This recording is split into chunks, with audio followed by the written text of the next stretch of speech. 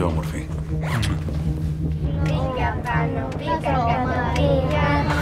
Είμαστε μια οικογένεια.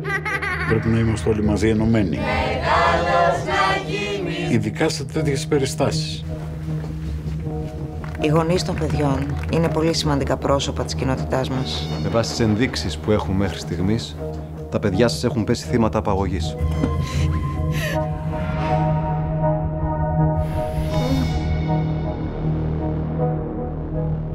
Ζωή είναι άδικη καμιά φορά. Έχεις καταλάβει τι προκαλείς αυτά τα παιδιά εδώ μέσα; Θέλω απαντήσεις. Αποκλείεται αυτό που λες. Καλημέρα, παιδάκια. Καλημέρα. Τώρα θα πάμε μια εκδρομή.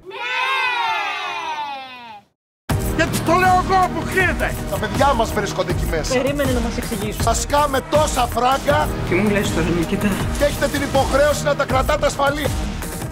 Πού θα τον πάτε. Υπάρχει κάποιος ύποπτος. Δεν μπορούμε να μοιραστούμε αυτές τις πληροφορίες. Οι άνθρωποι κάνουν ό,τι μπορούν.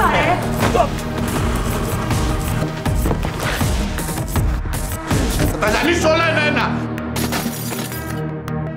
Κάντε ό,τι θέλετε. Δεν έχω σχέση με αυτό που συμβαίνει. Αυτή την απάντηση θα δώσω αυτού που ψάχνουν τα παιδιά τους.